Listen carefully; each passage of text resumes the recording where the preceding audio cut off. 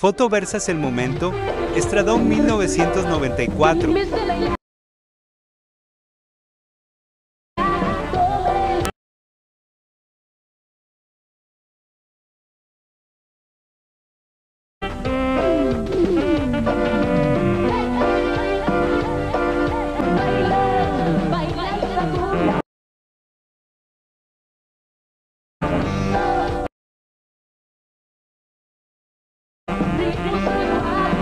Thank you.